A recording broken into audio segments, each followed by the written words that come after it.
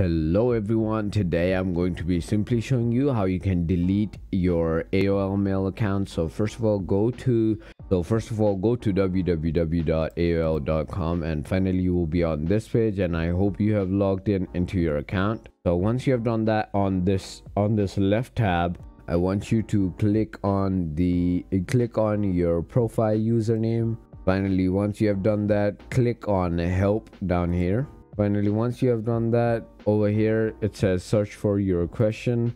Just simply write how to delete my account then click on search. And finally once you have done that there is gonna be this um this text right here which says reasons and uh, AOL account will be deactivated or deleted. Click on it. And finally over here it will tell you the reasons your AOL account will be deactivated and then on the first uh, first point it says you requested your account to be deleted. Go ahead and click on that.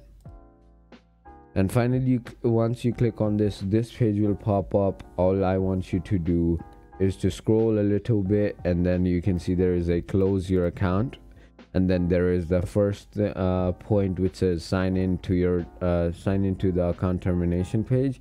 Go ahead and click on that finally once you click the click on that you will be on this page which says hello before uh, continuing consider the following information. You can go ahead and read that. It basically tells you what happens after you delete your account. And finally there is a continue delete my account button down here. Go ahead and click on it and finally once you have done that it says we are sorry to see you go. Are you sure you want to um are you sure you want to terminate your aol account? Um first of all you'll have to enter your email.